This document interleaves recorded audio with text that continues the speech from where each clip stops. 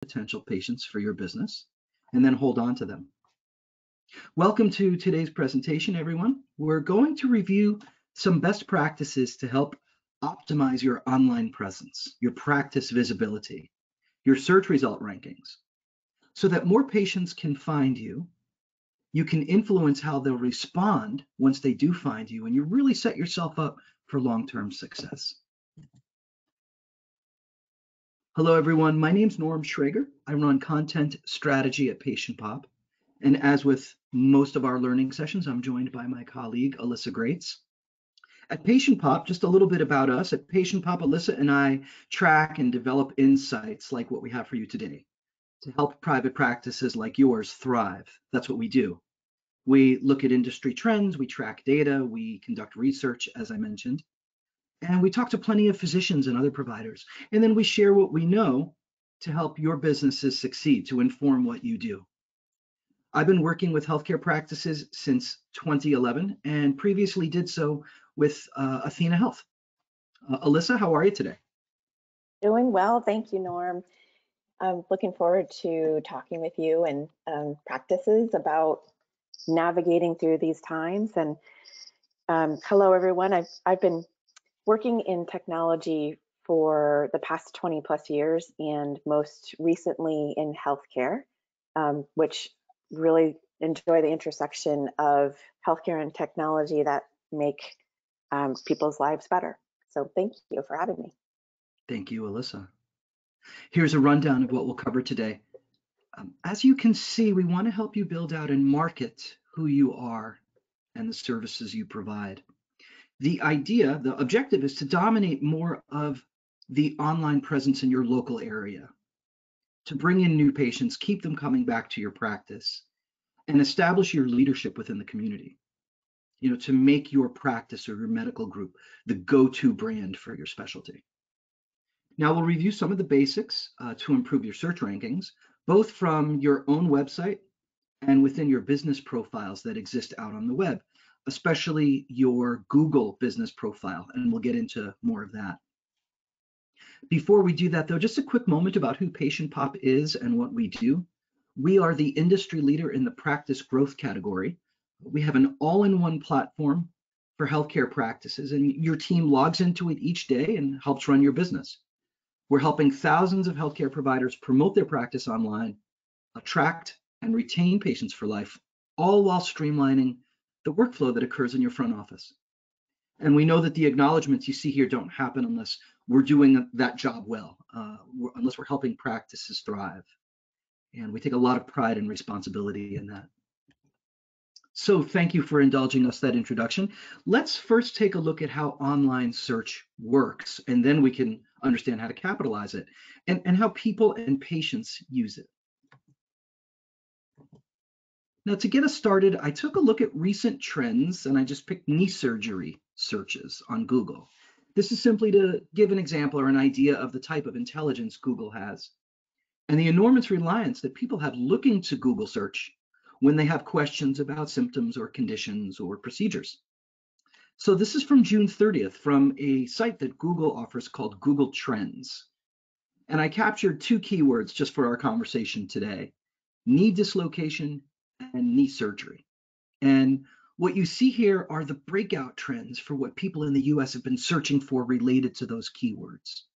On the left, you see bone fracture and swelling and pain, and you can see the uh, either uh, a designation of breakout or a percentage of increase, so you can tell what's hot for the week. And by the way, you can adjust the content on your website to reflect that if that's something you want to be found for. Now on the right, you see um, there's actually a question being asked as a search term. Number three, what's the best way to prepare for knee replacement surgery? And and people will, as you may already in your in your everyday life, uh, enter a question in a Google as a Google search term. And, and there's ways to, to work that to your advantage at your practice as well. So let's just back up a bit and see where online search falls within the context of a patient looking for information and wanting potentially to see a doctor.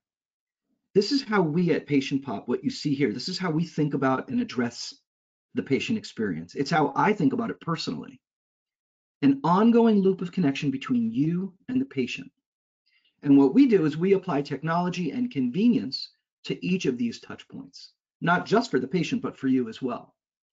So the search, what we're talking about right now, takes place at step number one. And we'll talk about how it works and how you can position your practice to get found, as I said.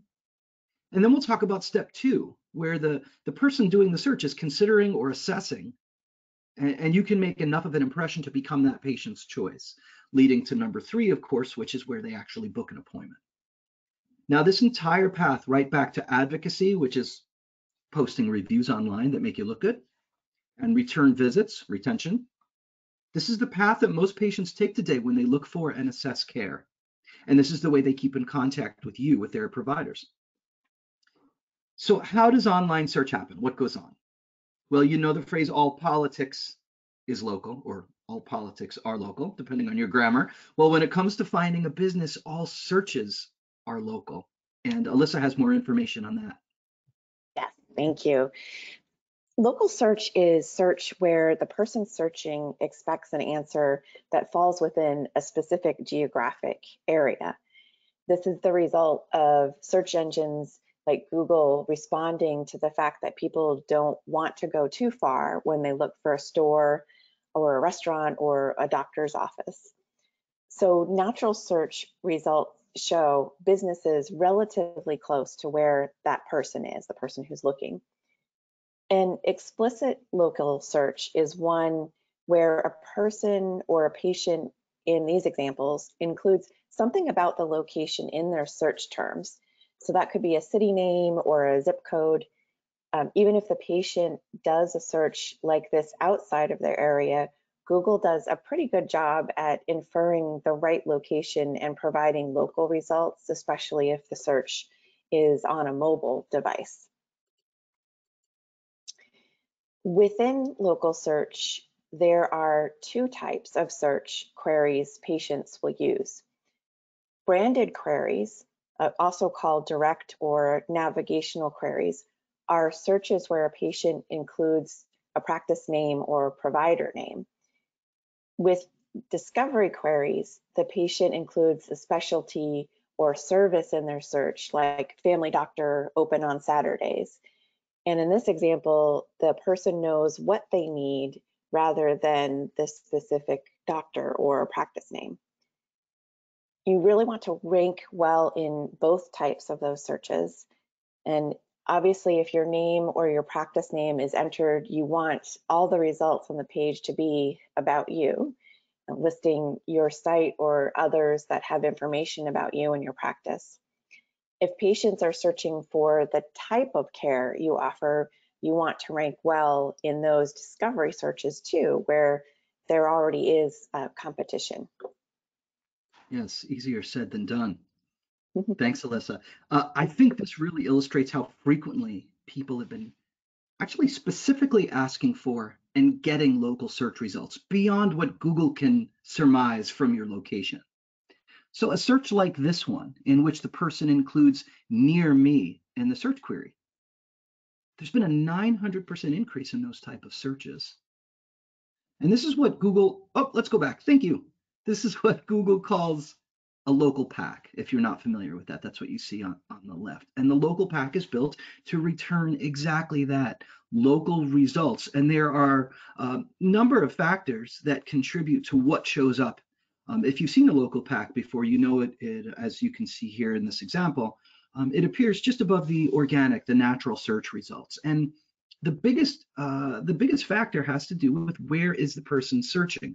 But from there, as you can tell, there are other factors that um, that that are part of this um, that are featured for the person searching that make it very simple uh, for them and very easy for them to make a decision based on things like uh, reputation, what those ratings lines look like and what time the practice is open until and points of contact that are available within the local pack.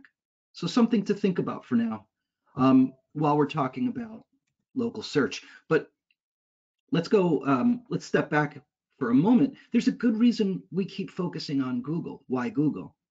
And we're going to continue to focus on Google throughout this presentation.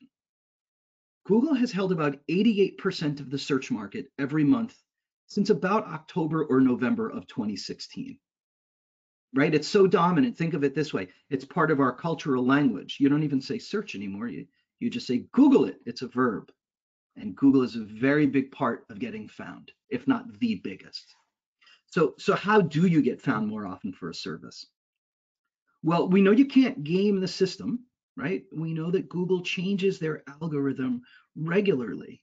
And the reason they do that is because they want the results that the person is searching for to be um, as accurate um, and as relevant to the searcher as possible. That's Google serving their customers. So there are two simple ways to think about what you want to accomplish in Google search. Offer information that's going to answer questions or queries your patients are likely to have. That makes it more likely for your type of patients to find you because you're answering their questions. And use terms and phrases that you hear them use when asking questions or when they're talking about services or conditions that relate to your specialty. Now, I just want to hold here for a sec to give you a good example. Um, we know often uh, if someone goes to an ENT, they're complaining of a sinus infection, but medically it's not really a sinus infection, but that's what they're calling it. The patient believes it's that.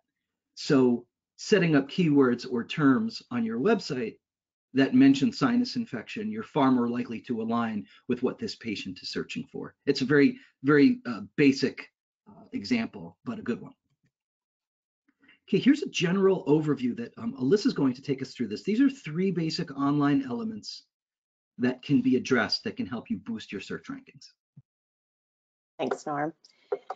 The, the first thing is having a practice website that compared to other sites has more relevant content for your specialty and your patient needs. If you're offering a service or procedure that other practices in your area don't offer, um, immediately that's information that will really stand out compared to other websites. When you include the right search keywords for your services too, you improve your chances for people to find your site and know what your practice is all about. The second relates to how often your practice is mentioned online by other websites and organizations and how often they link to your site let your local business websites and local media outlets know about your expertise and offerings so they can mention you and link back to your site. And this can really help improve your search rankings because others are essentially telling the search engines that you have authority in your area. And then it's key to have an optimized Google business profile, and we'll talk about how to do that a little bit later for sure. We'll actually walk you through it. All right, let's get into how you position your website to get found more often for those things that are important uh, to your business and your practice. And part of it has to do with the characteristics of your website, not just what you're saying. So we'll start with four key attributes. First thing is your website's got to be mobile, right? You, it's got to look great and work well, regardless of the device on which someone is, is looking at your site.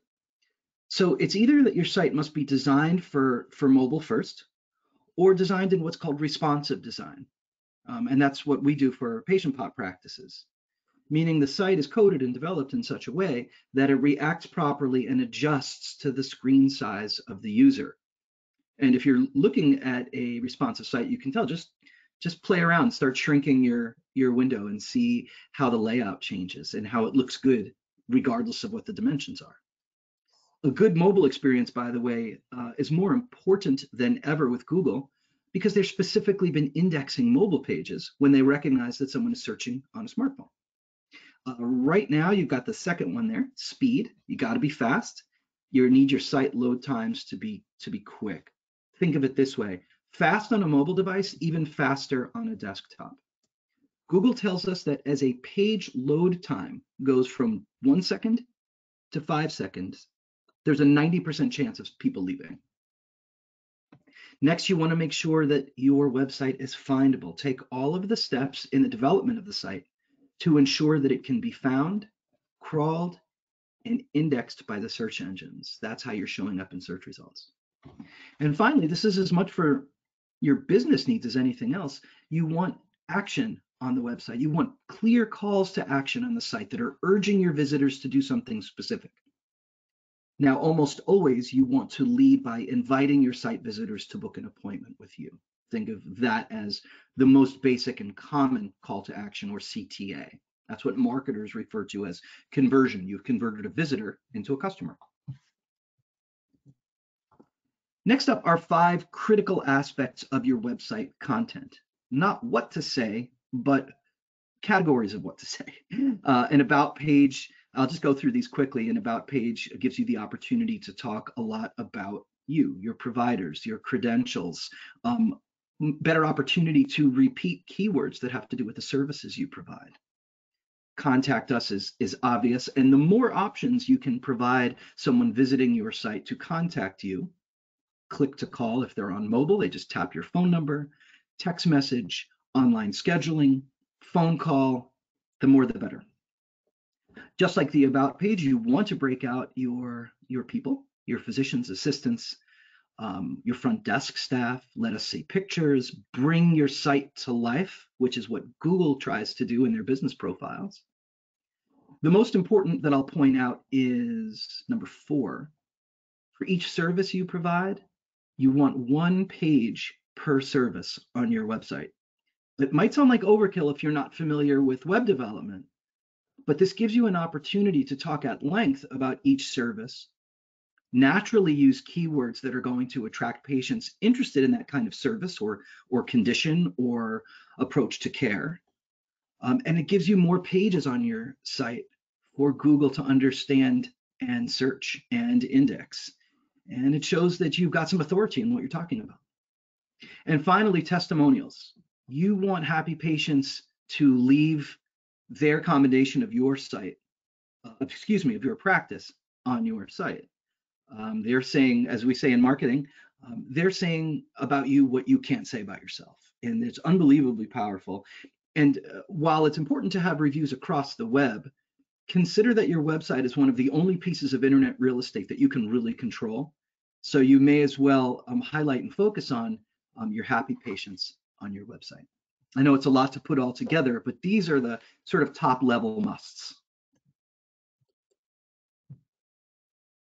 Yes, and once a search engine finds your site, um, looking at how it, you know, how does it choose which information to display in search results?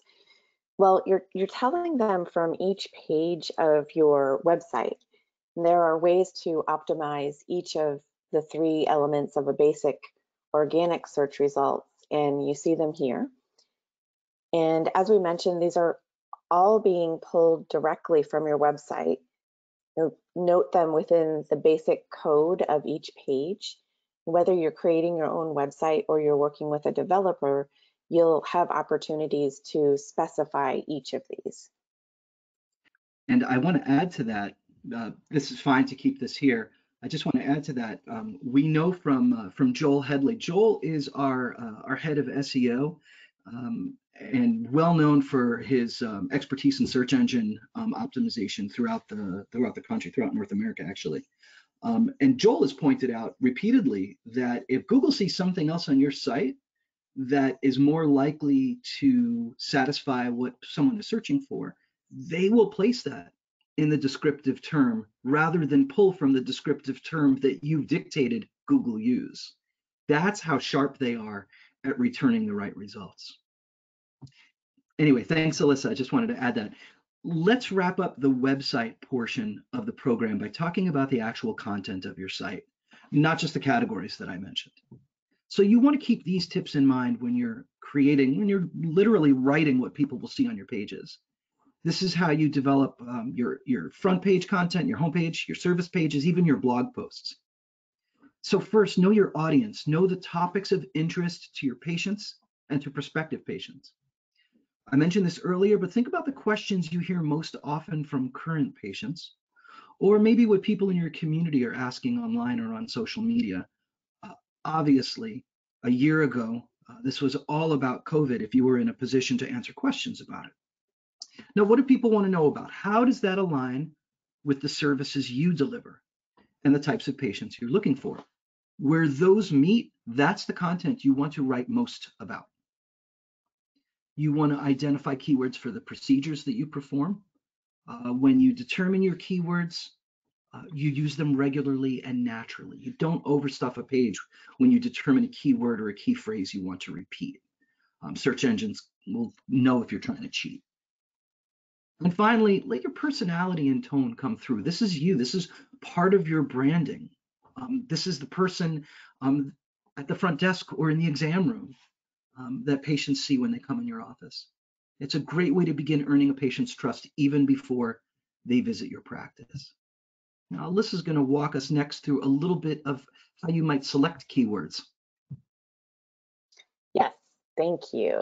Thanks, Norm.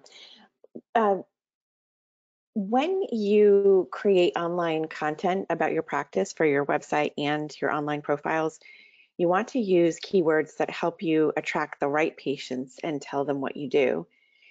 Keywords are those words or phrases people type into the search, search engine they're using to get information.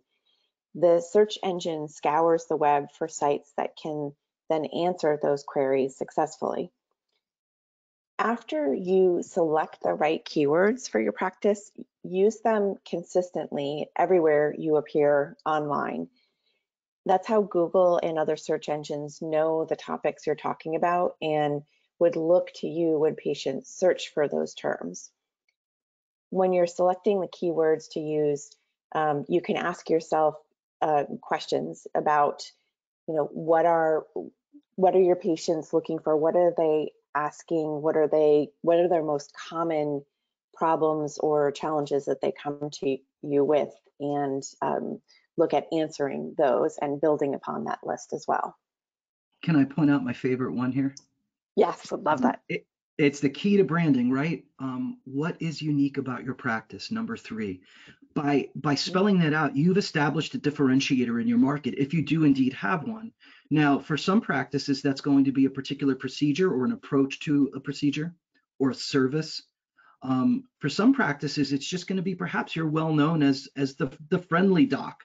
You're you're well known as you know the pediatrician uh, who's got the most longevity in your community. Whatever it is, be sure to tell people what's unique about you. Absolutely. Before we move on, I just want to take a breather to let folks know, um, and thank you for joining us. Um, if you have any questions that you'd like us to address, either at the end of today's program or where someone can get back to you directly, um, you'll see the GoToWebinar panel, usually on the right side of your screen right now. And you can tap or drag the gray bar that says questions and enter a question there for us. And uh, we welcome that and would be happy to, to answer any questions you may have about today's program. All right, we just mentioned online profiles, so we want to talk more about that and how they contribute to your overall web presence, really working in concert with your website. So you want to make sure all your business listings on other websites are accurate. You want to make sure the information you provide is consistent. This makes up what we refer to as your overall web presence. This gives you opportunities to appear in more positions within search results, right? You want to own the most pieces on the board that you can. You gives you more real estate out there saying who you are and what you offer. Now, as Alyssa and I both mentioned, Google is a priority, but there are dozens more, and some of which you may not even know that you're already listed. So the thing to do is search your practice name, see where you come up. Then go to those sites and claim your own profile each site will have a particular way in which you do that. You're essentially proving to them that you're the owner and or manager of this business. Uh, and then you have the opportunity to make sure all of your information is accurate, all of it is consistent with everywhere else that you uh, that you've affected something on the web, and then you can bring your practice to life for as much as that particular site allows. The biggest thing that I want to point out, if you only had uh, limited time is the first item, which we refer to as NAP, and Google refers to as NAP, name, address, phone number. If you only have time to do one thing, make sure that is letter for letter consistent everywhere on the web. All right, now let's get into Google My Business and the Google Business Profile and why that's so important. Yes, Google uses your business listing to give people information about your practice and an idea of what they can expect if they visit or request an appointment. Google My Business is the tool you use to complete and optimize your Google business profile. And here's an example of how Google uses and displays your information. When your business listing is well optimized, it can move the needle when it comes to local search. And uh, I know Norm mentioned it before, Joel um, just took part in a major SEO survey um, about which search factors are currently most significant. And the panel that he participated in determined that the Google business profile is the most important element for Google in determining search result rankings. And let's get into some best practices for optimizing the Google business profile. Yeah, I love this because I, I think that not many places, not many businesses, not many practices do this right and love sharing this to give folks an advantage. So let's start with something basic. It applies to every business profile that you will you'll review and claim out there. Um, as we mentioned, make sure your details are 100% up to date and correct and consistent everywhere across the, the web. Excuse me. Especially details like business hours. I mentioned NAP already. Uh, you don't want to lose a prospective patient because they call the wrong phone number. Uh, guess what? They're not coming back. They're not looking for the right phone number. We talk about the importance of getting your practice name out everywhere, online, of course, but it is also important to be consistent with that name on every piece of branding from the practice. The sign outside your office, any printing or billing material, even the way your staff answers the phone. It's a major part of, of branding properly is to be consistent. So let's say you've claimed your profile, Google has verified it. Uh, by the way, if this is new to you, the place to start that is google.com slash business. They make it very clear and you just go step by step from there. Now that you've been verified and they recognize that you run your business, you can now manage and enhance your profile. Google knows you have more to offer to people searching, and you're working harder to let them see what you're about. And we'll walk you through how to do that you want to add a photo album. The, the, owner of the profile, you, you can add a gallery. Others can contribute as well. Very democratic. Here's Dr. Amercy's profile. She's a well-established uh, solo OB-GYN in California. Now, if we click the see photos, you get something like this. Her gallery has a lifestyle shot, um, an image of her waiting area, some best practices here, we always recommend interior and exterior and pictures of your providers or your physicians. Uh, you want to bring that physical practice to life online, show off who you are, and of course, how you're different and better than other practices in your area.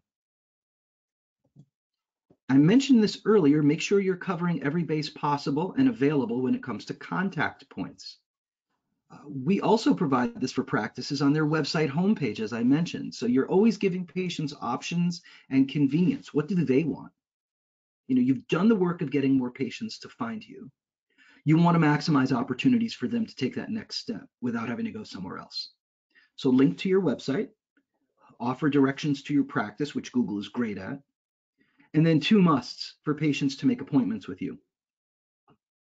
A direct link to your online scheduling, and your phone number, which will show up, as I mentioned, as a click to call when someone finds you with their mobile device. That simply means that that phone number is highlighted and allows someone to tap it. And then your mobile device, uh, an, an iPhone especially, will say call question mark, and then you'll call. So use every tool in the arsenal to offer and make that connection. And answering questions is also an essential addition to your profile. You know, we'd mentioned that before. It really provides a valued service before a patient ever walks in the door. And if you're answering a question that a patient in your area is searching for, you're already building trust and conveying who you are. Yeah, if we can stay here for a second. Um, sure. Thank you. Brian's our producer today. Thank you, Brian. Um, something to point out, and Alyssa, please add to this if you'd like. Um, in this particular instance, uh, Dr. Mercy asked her own question at her practice and then answered it. And she asked a question she was potentially hearing often from patients or prospective patients. And Google lets you do that, and they will identify that you, as the owner of the practice, are responding. That's great. I, I think next to one of the most influential elements of patient decision making is online reviews, along with that, um, having those questions answered up front. You want to encourage feedback from your patients and make your reviews visible in your profile and respond to any critical or negative feedback promptly, ideally within one to two business days, but even faster if you're able to. Our research reinforces that a focus on your reviews is really crucial to your practice. Uh, with that, and you can see here, not only do patients rely on reviews most when doing online research, but they place enormous stock in what those reviews say. 74% of patients say that positive reviews are very or extremely important to their decision. And review summaries show up in organic search results too. So they are displayed right there on the results page. And that will look um, like th this is a listing from Google search results for Dr. Emercy for her vitals profile. That review summary is only for her ratings on vitals and Google displays uh, the same for other types of review sites. So there's an overall reputation that patients can see just in searching your name or your practice name. Before they even click on one of the results, they have a good idea about the patient experience at your practice. For sure, especially if they can see that the whole list of those from different sites. Yes. Thanks, Alyssa. Cool. Finally, I'm using here the profile from Dr. Gottlieb. He's a spine surgeon in Miami who left the hospital system to open his own practice. So we start here, and now if we go down below reviews, you'll see this area. This is where you can load Google Posts, which can really be any content you want. If you want people to know you're, um, you're offering COVID vaccine, this is great. Here's where you can do that. If you're taking new patients, this is where you can do that. That's what Dr. Gottlieb um, is doing with his Google posts. If there's a search term within your Google post, Google will recognize that. They will use the words from these posts, again, to display something that satisfies a search. You can also link to Google posts that you that you establish from other social media channels, such as Facebook, to highlight a particular message. Uh, and that could drive more people interacting with your listing as well. One last element of search optimization we mentioned earlier, citations and links, two instances in which others recognize you online, not patients and patient reviews, but other organizations um, it, within your community. They mention you on their website, or better yet, they link to your site from theirs. Yes, and we can talk about the three benefits there too. The, the first is better search rankings, and that's because other people are helping Google understand who you are and what you do and referring to you. And therefore, it's more than you doing the talking. And of course, a direct link to your site from those people gets you one step closer to a new appointment being booked or services being sold. Second, not only will you show up in more places online, but it's probable that they're the types of sites prospective patients are also visiting to get more information, if especially if those are coming from reputable medical sites. And it's good to put yourself out there in the community as an expert and build up those links and mentions through um, those good vibes and reputation, especially during our current times where it's uh, really a welcome thing to have smart, positive, informed leadership in the area. So be present, uh, share your knowledge, and give your time if you can, and, and get a lot of that community building and links coming back to your site. Awesome advice. Here's what you can do to start earning that kind of attention tactically from other organizations. These tips focus very much on your local presence, and that's going to help the way you're perceived by search engines as a relevant local source, a relevant, important local business. The extra value, as Alyssa just pointed out, is that you're really expanding your brand within your community. So when a prospective patient sees your practice name or your face online, they may already be familiar with you. And as a business, that's really an excellent advantage to have. I want to take another quick break before we go to next steps and quickly share a free tool directly related to practice improvements, in fact, directly related to Google search rankings. More than 50,000 providers have already used this analysis tool, which we created at PatientPop for physicians and practices and, and other healthcare providers. So we've got a, a, a special link for uh, DrChrono practices. It's compare.patientpop.com slash DrChrono. If that's a bit of a mouthful, um, before our program began today, we placed that link directly within the gray box marked chat under the questions box. So you can copy and paste that if you wish. So what you do is you go to that website and in about a minute, the tool analyzes how your practice matches up against other practices in your market and your specialty across four performance metrics that are all about getting found and being trusted uh, by prospective patients. The first is reputation, meaning your reviews. The second is your, your Google rank. The third is your overall web presence. How well are you represented across all of the websites we mentioned, the Yelps, the Facebooks, the Vitals, and then your website performance. This is the type of insight we love sharing with practices, and, and we're so happy to offer this. Um, as I mentioned, it's it's free.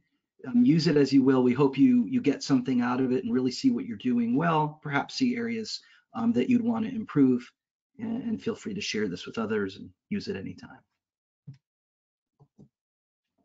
Great.